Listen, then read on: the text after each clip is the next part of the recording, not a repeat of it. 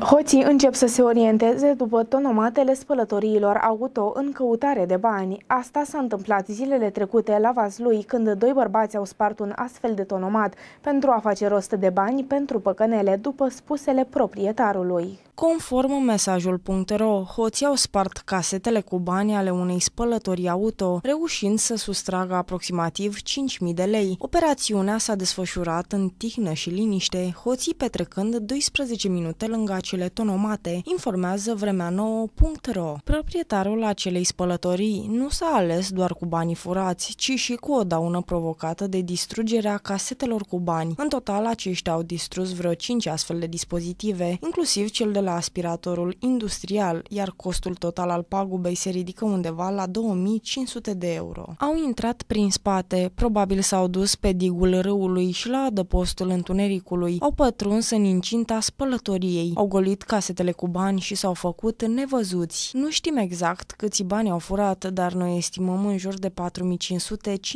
fiindcă erau în casările din acest weekend, când lumea vine și spală mașinile mai des decât de obicei, spune proprietarul spălătoriei pentru sursa citată. El crede că lovitura este dată de indivizi antrenați în spargeri, care probabil au rămas fără bani de păcănele, relatează mesajul.ro.